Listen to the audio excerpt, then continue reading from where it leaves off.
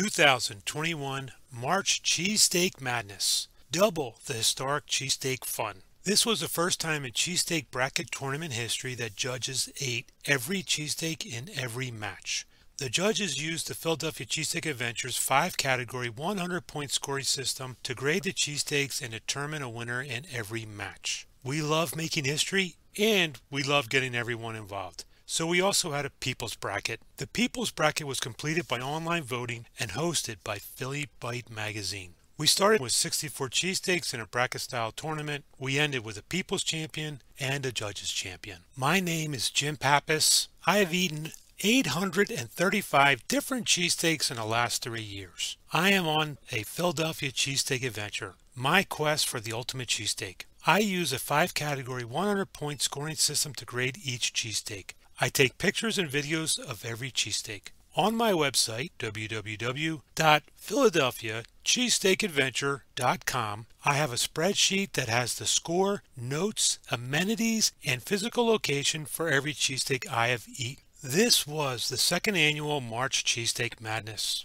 It is a bracket style tournament that mirrors the NCAA men's basketball tournament. The tournament begins with 64 cheesesteaks seeded in four regions. The regions are 1. Philadelphia, 2. Delaware County, 3. New Jersey, Delaware, 4. The other Philadelphia area counties, also known as the other counties. Those counties are Chester, Montgomery, Bucks, and Berks. To ensure each region had an equal number of high-scoring cheesesteaks, I sorted my cheesesteak spreadsheet by score and county. Footnote, Philadelphia is the city and it is also a county. Second footnote, the New Jersey Delaware region was a collection of all of their counties.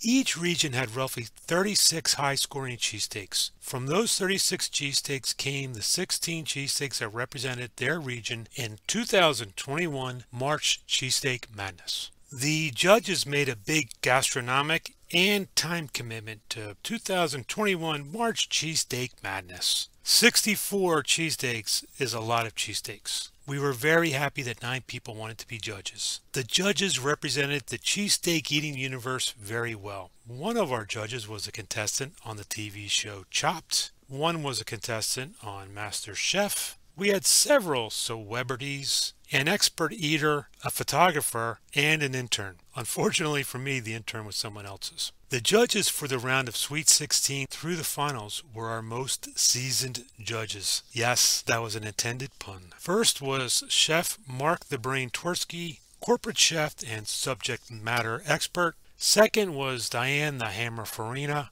event planner extraordinaire and our hardest grading judge. And three, Amigo Dan, regular contributor on Philadelphia Cheesesteak Adventure and our resident roll snob. We have Meet the Judges videos for all nine judges on www.marchcheesesteakmadness.com and on our Facebook page, March Cheesesteak Madness. This was a history making tournament. Not only was this the first time in cheesesteak bracket tournament history that judges ate every cheesesteak in every match, and we named both the 2021 March Cheesesteak Madness winner and a People's Champion, we also named Best of Philadelphia, Best of Delaware County, Best of New Jersey, Delaware, and Best of the other Philadelphia counties. The Philadelphia Cheesesteak Adventure is my quest to find the ultimate cheesesteak, and the tournament is designed to name a champion but both are intended to celebrate all of the great cheesesteaks and the wonderful people